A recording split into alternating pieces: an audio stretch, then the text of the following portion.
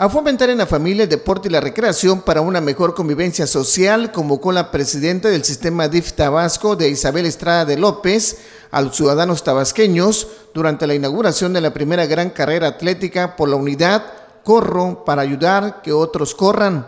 En el evento que se realizó en el Estadio Olímpico de la Ciudad Deportiva de Villahermosa, donde participaron corredores en las categorías juvenil, máster y veterano, así como competidores discapacitados y débiles visuales.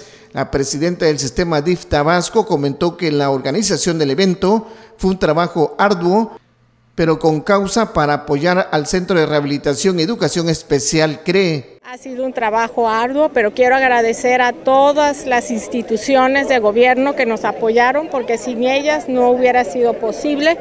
Eh, a todos los patrocinadores y a todos los que pusieron su granito de arena para que hoy esto fuera realidad, a los maestros de educación física, eh, a todos, todos.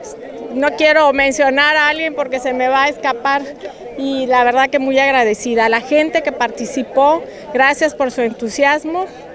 Esta es una carrera benéfica, queremos apoyar al centro de rehabilitación, al CRE, eh, para que podamos seguir dando un excelente servicio a la población. Esa es la finalidad. Acompañada de la secretaria de Cultura, Yolanda Osuna Huerta, y de la directora del DIF Tabasco, Celia Bosch Muñoz, la señora de Isabel Estrada de López aseveró que los apoyos que se obtengan de esta primera gran carrera atlética será para beneficiar el Centro de Rehabilitación y Educación Especial.